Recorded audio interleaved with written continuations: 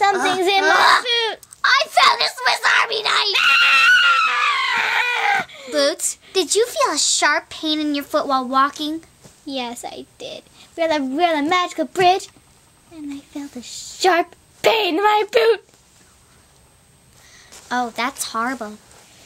We gotta return this Swiss Army knife to the people who own it. The career FAX team. No, look on the other side. Oh. It's Ella von Strangle. Ah. Ella von Strangle. I've heard of her. She owns various weapons. Cool. I mean, Oh, kids, um, uh, uh, not good, not good. no, no, no, No, no, no, no. weapons, no weapons. Deathly weapons. Lethal weapons. Bad. Bad. Yeah. Now, I wonder who could own this Swiss Army knife. Beep, beep, beep. OMG, I'm getting a